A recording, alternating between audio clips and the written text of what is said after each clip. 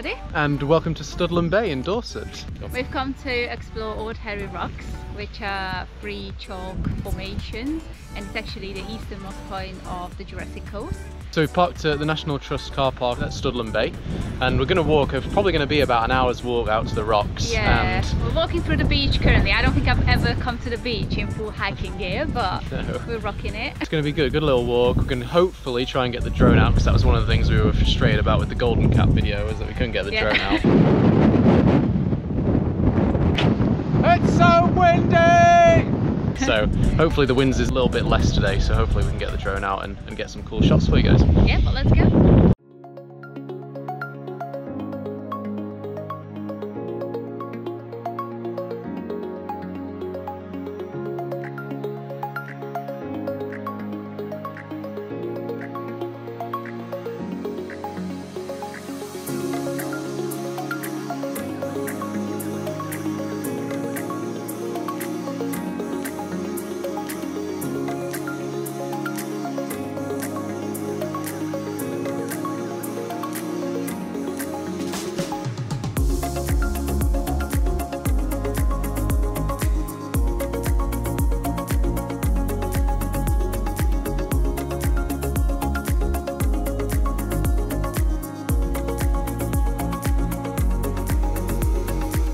So Old Harry Rocks are a set of three chalk formations which mark the easternmost point of the Jurassic coast. Old Harry Rocks and the Needles on the Isle of Wight actually used to be connected by a long stretch of chalk, but due to erosion by the wind and sea, only these disconnected stacks remain.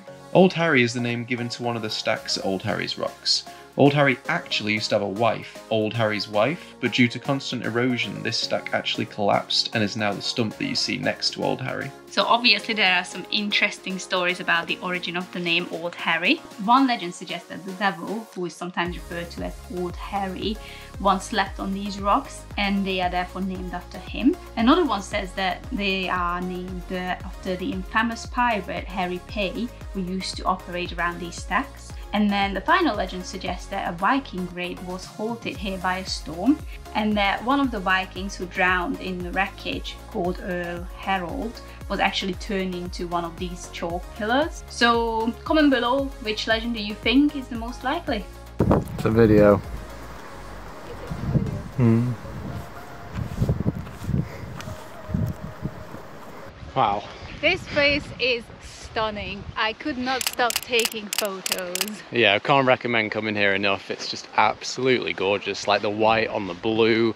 Helps that it's a, a gorgeous day. But I know, we're incredibly lucky today. No, definitely recommend coming here if you're on your way down south. So now we're just gonna head back towards the car. Uh, we're gonna just do a little circular walk again, like we always like to do a little circle walk. And then we're gonna be heading over towards Durdle Door, which yes. is another iconic location on the south coast here.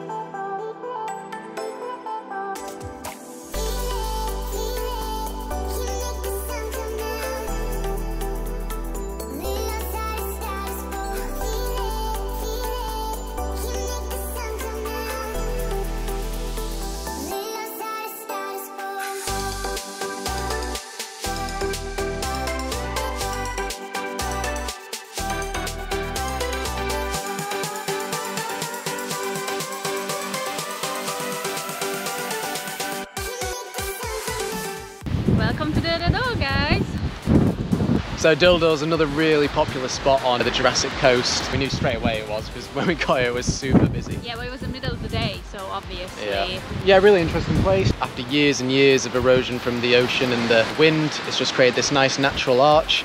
And the name actually derives from the Old English word thurl, which means to pierce or to bore, which you can kind of relate to when you look at the, the massive hole in between the rocks there. So now we're just going to head from Durdle Door and we're going to try and do a little circular walk all the way up to Lulworth Cove and then back round to the car again.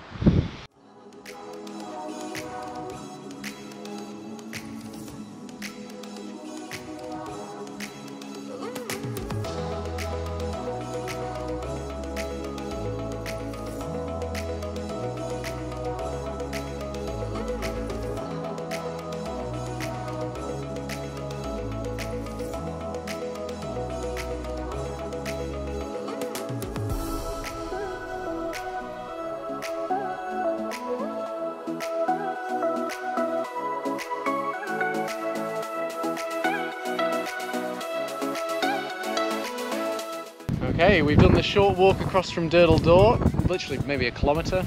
Yeah, but it's pretty steep coming down, yeah. so I'm not looking forward to going back up again. but as you can see behind us, we're at Stair Hole, which you get you get to just before Lulworth Cove. And Stair Hole is actually an infant cove, so it's kind of like a cove in the making. It's being eroded away over time. Yeah. This would have been how Lulworth Cove would have would have started.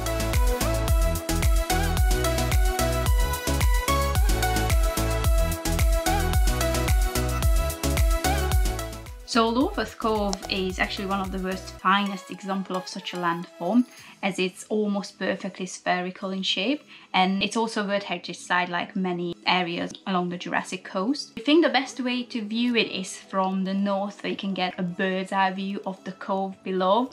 Unfortunately we didn't have time to reach this vantage point but you should definitely head up there if you have the time. Okay, so we're just leaving Lulworth Cove now not quite as epic from our vantage point as we would have liked. We couldn't get the drone out just because of the laws around here on drone flying. Um, in this just very particular area. It's um, pretty hard to see with your eyes how the cove actually looks. So now we're just heading on back to the car. It's about to absolutely throw it down, so it's a race against time. so fingers crossed we made it. But if you enjoyed this video, give us a thumbs up and uh, consider subscribing. And we will see you on the next adventure in Dorset. Bye. Bye.